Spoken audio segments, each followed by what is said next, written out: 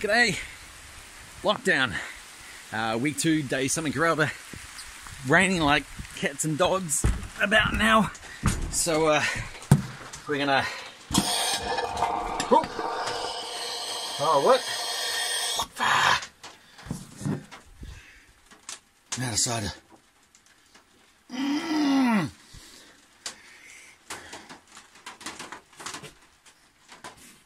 Well, it was nice while it lasted. How about beer o'clock it is in? It's raining like cats and dogs. We're gonna do something with steak today. Do it's wet. G'day. Welcome to lockdown week something, day whatever I said. So today it is raining outside, not that nice. So kind of want to create something nice and warm and yum. So that's what we're going to do today. Uh, I've run out of cider, so I'm going to have to have a have a homemade Bailey's instead. Now, let me get that out of the way there. Cheers, guys. All right. So the other week I bought a little steak and I cut that little steak into thirds. Um, so what I'm going to do is I'm going to take one of those thirds and I'm going to cut that into four steaks. Okay.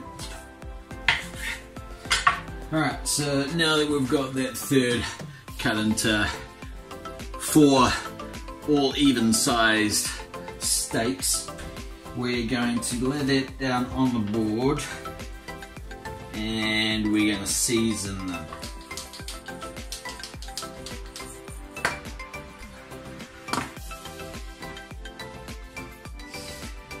Right, so once we've got our steaks all nice and seasoned, what we're actually going to do is we're going to chuck them all in a big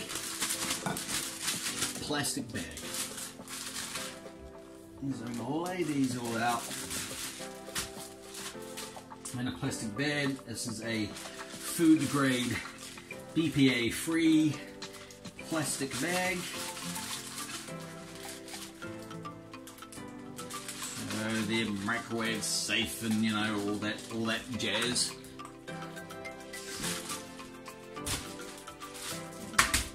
So we've got those there.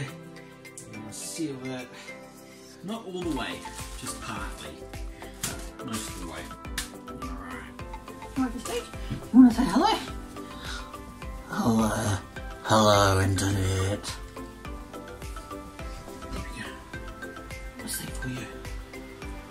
Yum. You got a steak. Whoa, at the steak.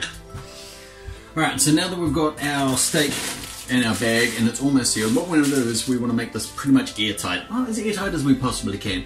Uh, there's two ways to do that. If you've got a vacuum sealer, cool, you can stick it in a vacuum sealed bag and go and take all the air out of it and then it's vacuum sealed. I don't have one of those unfortunately, ain't fancy pants. So what I've got is just a plastic bag with a little zip thingy. What we're going to do is try and get as much air as possible. because We're going to drop this into a big bucket of water. And we're going to slide that down into the water, keeping our open edge at the top, of course, so no water gets in. Slowly taking the bag into the water as much as possible, which is going to force any air that's been in that bag out. So once we get basically the top, then we will seal it, like so. There you go, ladies and gentlemen, four steaks in pretty much an airtight sealed bag. And now this seasoned steak is ready to go into the sous vide machine. Sous vide, you ask? What is that, you may ask? Well,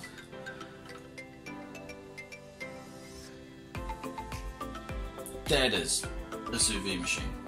Basically, it is something with a little temperature control that basically heats up water that you stick stuff in and then it like you know cooks it in the water all through and then it's like good sous vide is french and it means under vacuum So basically, we're un- vacuum sealing the meat. We're putting it in the, the water, and it's it's cooking. Right, it's ready to sous vide. So we are at uh, temperature. So we're at 56.56 degrees. So that's kind of what we want because I'm working on medium rare steaks. So 56 degrees, and we're going to go for about an hour to an hour and a half. I've got the timer on two hours because I've got myself a little bit of leeway, but we are only going to be cooking these for an hour to an hour and a half. So what we do is we take the lid off here, we make sure that our egg is all sealed, and then what we're going to do is we're just going to drop that into the water bath like so. Stick that in there. We're going to fold the little opening just over so then it will never go in the water. Put our lid back on.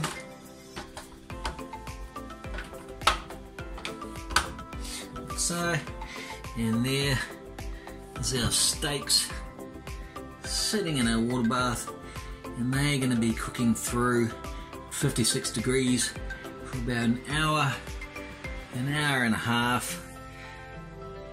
They're going to be beautiful. Now, once they come out, we're going to finish them off uh, on the barbecue, um, sear them both sides, uh, get that fat cap nice and rendered, and uh, pair it with some vegetables and a nice red wine and mushrooms, which I shall show you how to make shortly. Right, now it's time to make a creamy red wine and mushroom sauce to go with the steaks that we are sous vide. So over here, I am frying off some mushrooms. Beautiful. From that, we are going to add half a cup of a beautiful red wine. This is a Hehe He Malbec 2018. Very nice. Very nice. Half cup of that. In it goes. We're going to add a bit of salts and peppers. Once we've done that, we're going to let the wine reduce. Once that red wine is reduced by about half, we're going to add some cream, about a quarter of a cup.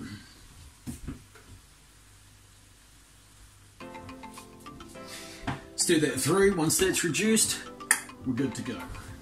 There we go, ladies and gentlemen, a lovely creamy red wine and mushroom jus. Now that the meat is sous vide, all these are lovely done, uh, medium rare all the way through. What you do is take them out now, pat them dry, and then take them to a barbecue, sear them both sides. They're ready to go. You can use the juices that came out in there to make gravy if you wanted. I haven't. Uh, I've just stuck with the red wine and mushroom uh, without the beef stuff. Um, but you can if you want to. So, yeah, now it's just time to pat these dry and get them on the barbecue. Sizzle, sizzle, sizzle. Job done.